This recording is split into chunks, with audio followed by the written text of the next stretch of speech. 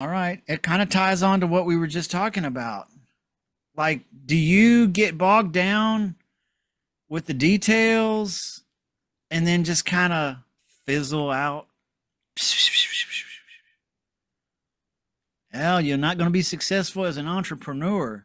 An entrepreneur in real estate or any other business really has to keep going in the face of not knowing what to do next. I can tell you many times in my business, I did not know what to do next, but I still did something. It's easier to correct something than to have nothing working at all. Okay.